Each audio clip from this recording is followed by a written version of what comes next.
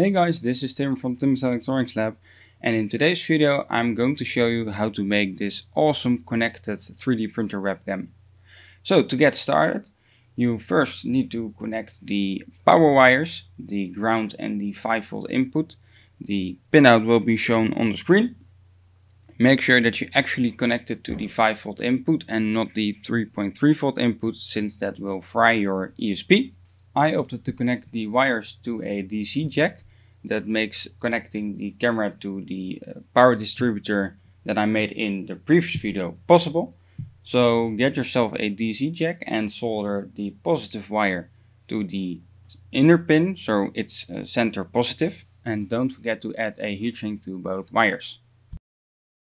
Now this is the time where you want to program the ESP32 cam server that's an example sketch when you download the ESP32 uh, board modules uh, from the Arduino. Before you do that, make sure that the resistor next to the an antenna connector is set up for the internal connector. Or when it's set up for the external connector, make sure to connect an antenna. Otherwise your ESP or any other device that uses an external antenna when it's not connected will be damaged and might not work. Before we continue, make sure that the resistor next to the external antenna connector has been placed like the left one and not like the right one. This ensures that you're uh, capable of connecting an external antenna. Now grab your 3D printed camera cases and basically insert the ESP into the case. Make sure that you uh, route the power wires through the antenna connector before you actually solder them to the ESP that will make life much easier. As you can see, I did not do that and I had to, well, fiddle around with the wires a bit to get them to fit through the connector. So due to my quite stupid mistake, I was forced to drill out the antenna hole to make it big enough for the DC jack to fit. Uh, I can recommend that you don't use metal drills to drill out uh, plastic because that simply doesn't work. Then finally you can grab the top cover, push it on there, make sure that it's quite tight so the camera doesn't fall out. Then get the base out that you will push the camera into that will finally attach to another part that's attached to the 3D printer. Make sure that you push this one in uh, hard because it's a very tight fit and you might want to put something underneath it that you can use to pull the uh, whole assembly out later on since it's very hard to get the actual camera uh, housing out of that um, holder again. Uh, also make sure that you don't push it too far if you have got a thick antenna or thick power wires since that will basically uh, damage the, uh, the wires and that's not something that you want.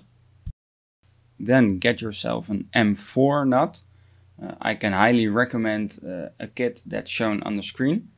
It contains uh, M3, M4 and M5 in various lengths and the matching nuts.